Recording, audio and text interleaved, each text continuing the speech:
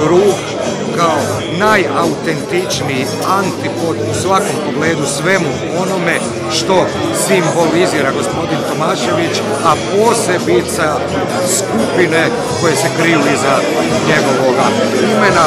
Dakle, sve ovo je, dakle, imamo mrtvu trku, sve ovo je u okviru brojbene pogreške za nekakve dalekosežne komentare pričekajmo prve službene rezultate.